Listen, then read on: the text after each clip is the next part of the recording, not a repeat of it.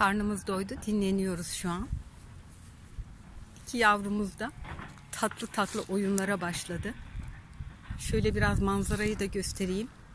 Bulunduğumuz yer yanmış bir orman olsa da yine de eşsiz bir yer. Çok güzel. Yakınlarda TOKİ evlerinin inşaatı var. İnşaattaki iş makinelerinin sesleri buraya kadar geliyor.